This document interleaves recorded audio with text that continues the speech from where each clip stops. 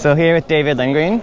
Yeah. It's been a few years since we saw you on the Mello stage. exactly. We missed your singing and dancing. Welcome back. Thank you, thank you. So, how is this song different than your other two songs, We Are Your Tomorrow? I think it's a little bit bigger than the other songs. It's more arena. I think it's uh, and the pro- productions is a little different. So, and uh, yeah, and it's a little bit more naked in the in the in the verses and stuff. So I think it's Right. it's kind of a big difference actually. Do you feel the choreography is on the par or a bit less or more because No. now you have to work with lasers? Yeah, I have. I'm dancing a little bit less this time because I said I wanted to to focus more on like uh, singing and coming through the camera.